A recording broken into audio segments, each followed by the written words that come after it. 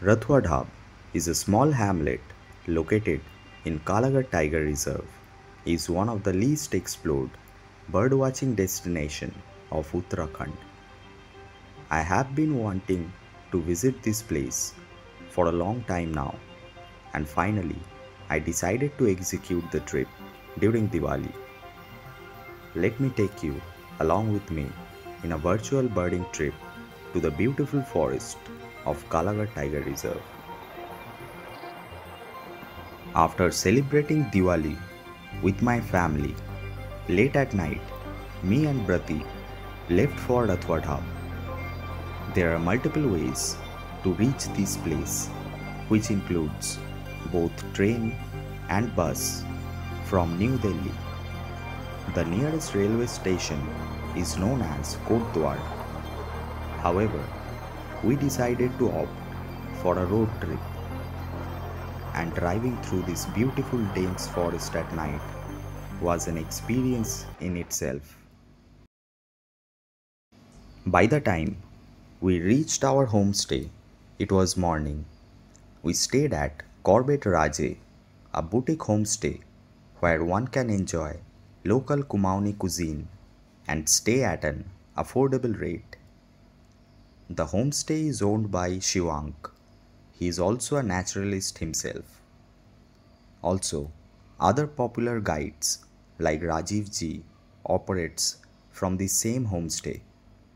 I have given all their contacts in the description box below. Hey what is up guys welcome to the channel so we are starting this vlog from Kalagarh Tiger Reserve which is actually part of Corbett National Park itself. And the place where we are staying is called uh, Rathuwadhab in this beautiful uh, homestay we are staying at called the Corbett Raje. So I'll have my breakfast right now and after having our breakfast we'll head out towards a waterfall. So there is a beautiful waterfall here. So we'll go there uh, and we'll look for a little bit of birds as well.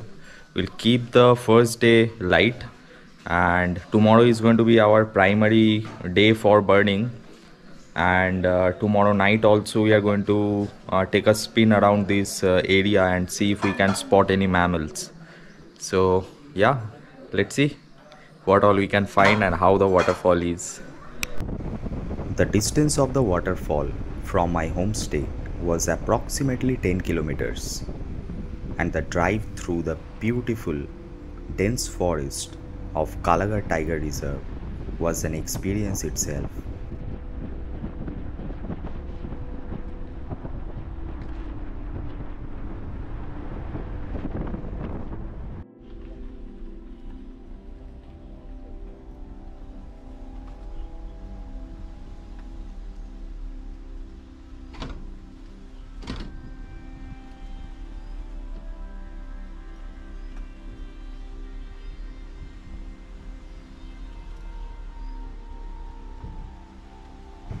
After crossing a bridge, we came to the spot from where we have to start our hike to the waterfall.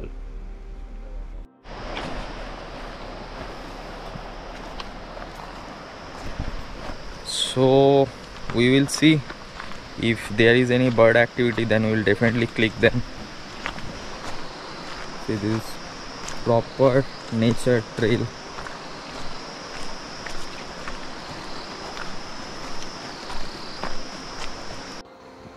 Unexpectedly, we encountered a pair of spooky eyes hidden in dense canopy.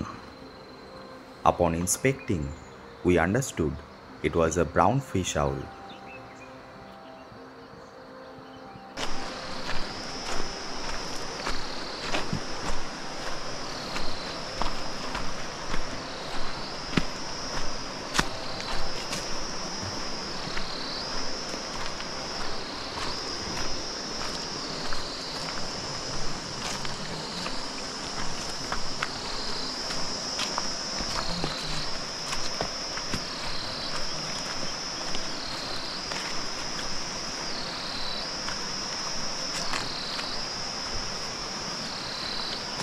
So it's kind of a hidden place. Not many people come here. There is a village here as well.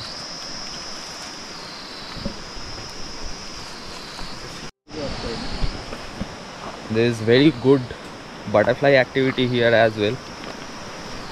Uh, it's actually a hidden waterfall around this area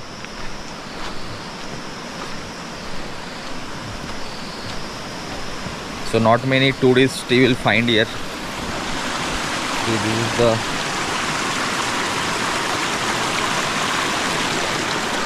trail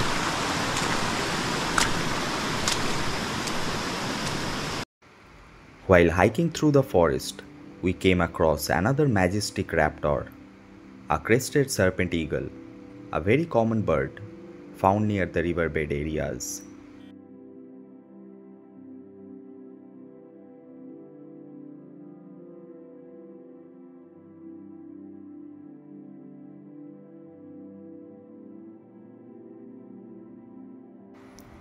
We also came across a tiny little bird known as the little pied flycatcher.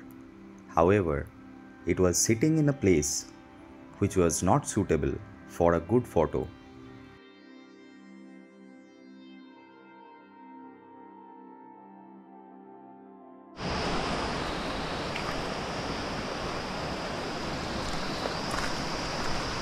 This trail is actually very tricky and slippery.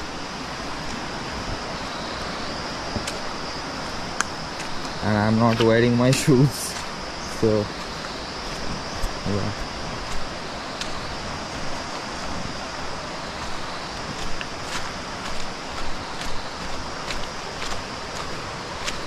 So we'll be crossing the river. The river is also extremely pretty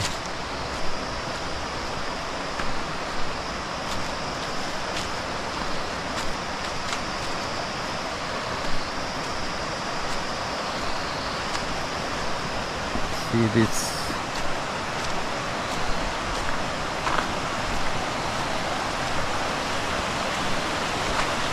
one person at a time.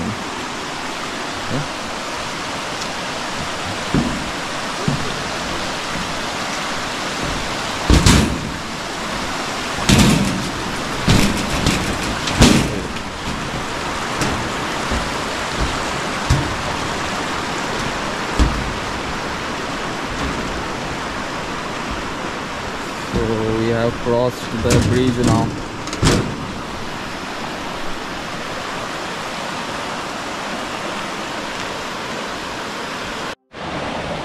And the waterfall is there. I can see already. Let's climb up.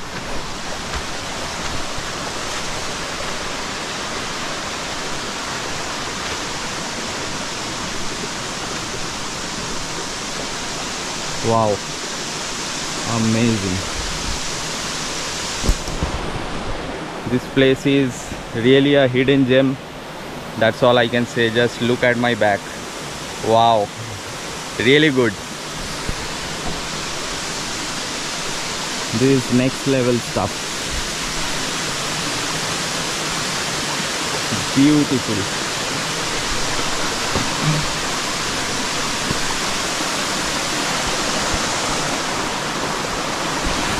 now this is actually a leopard territory as well so don't come here alone and don't come here after the sunset. Just look at this place.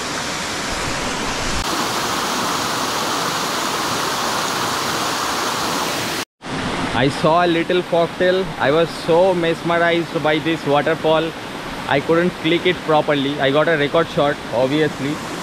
But uh, I mean record footage but I could not click it. But this place is unreal wow. Too good. See?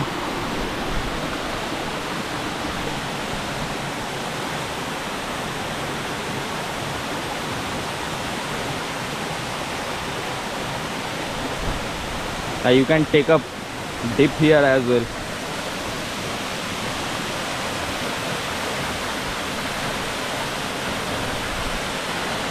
Awesome just see the beauty of this place. Amazing. There is the waterfall and this is the river.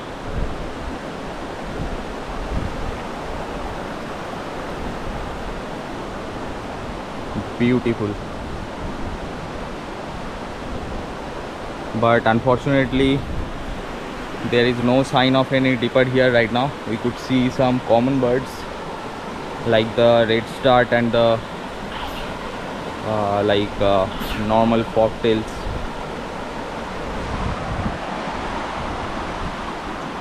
yeah so there are some plumbeous water red start but that's about it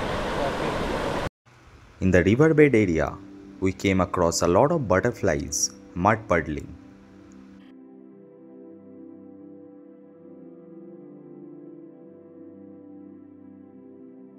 We also observed a lot of plumbeous water red start in this area. One pretty little female came very close to me and posed for me, and I made sure that I take a good shot of her.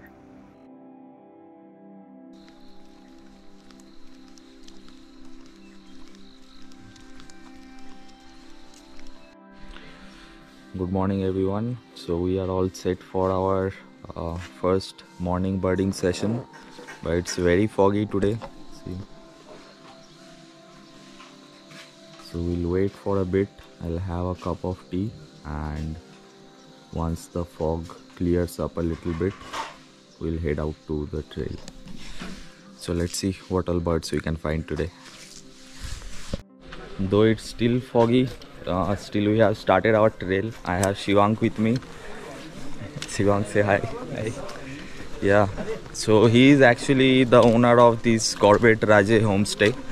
And he will be uh, like uh, guiding me in this trail.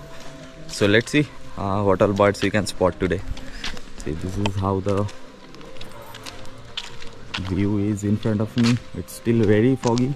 So it will be very hard to spot and photograph birds.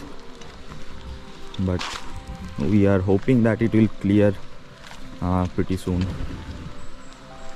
Though it was very foggy, one single individual of a chestnut bellied nuthatch came very close to me.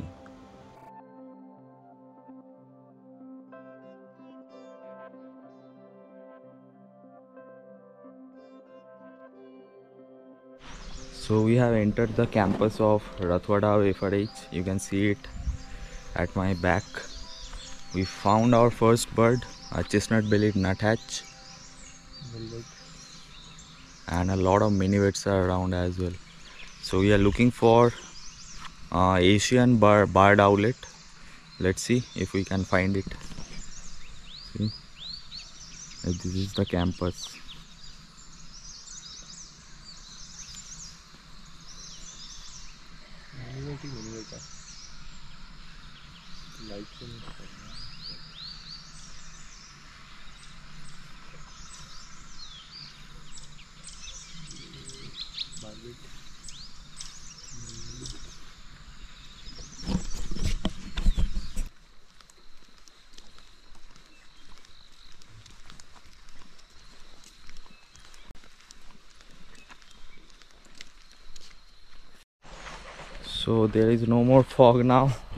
and we are heading down this trail.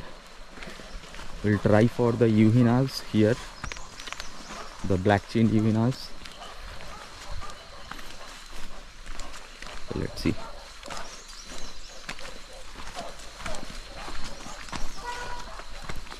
So our plan is to explore this entire region today.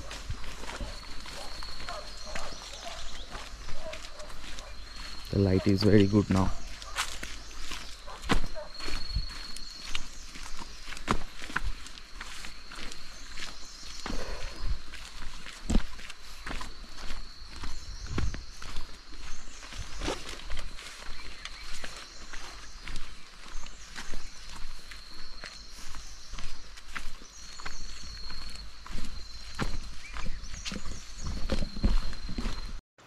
The grey-headed canary flycatchers are my favorite and it's very easy to photograph them if you know their behavior. and I made sure that I take a good shot of it.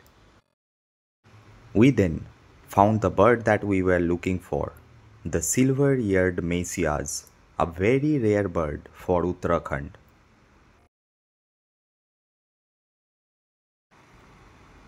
It is very hard to click the mesias in the wild.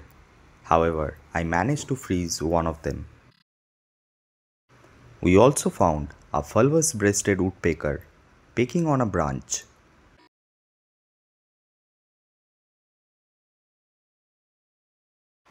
And with that woodpecker sighting, we concluded our morning session. So after my morning session, I am now going to the riverbed. So this is the route to the riverbed. And probably I'll take a bath in the river as well. So that's the plan. That's why I'm carrying this towel. And I want to take a dip in the cold water. So let's see what's the depth of the water is if it's suitable for uh, bathing then I'll definitely take a bath. And yeah i'm definitely carrying my camera because you don't know what you are going to see. A beautiful place. Nice habitat. A lot of fishes are also here. Under the water. Ah look at this view amazing. You cross the river from there. I don't think there will be much bird activity. Some red starts maybe. But yeah the Kalagarh side is actually pretty less explored both in terms of birds as well as uh, mammals. As far as safari is concerned not many people come here for safari.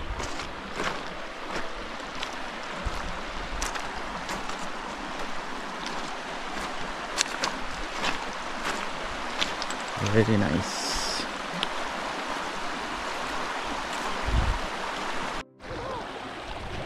The cold water of the river was enough to wash away all my tiredness. I believe Connecting with nature has its own magical way to heal your body and your soul.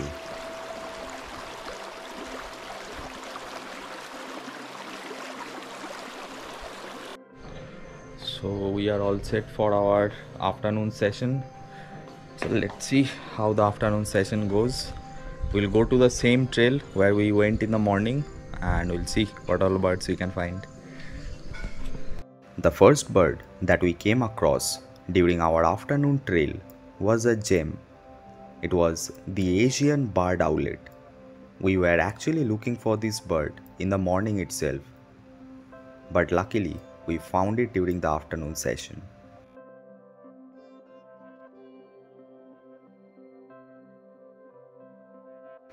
Another bird that we were looking for in the morning was the black-chinned yuhina and we found that as well, feeding nectar from a red flower. But unfortunately, the light condition was extremely poor. It was literally dark all around. So we took a very noisy footage of the bird. And with that, we concluded our trip to Rathuwadhab.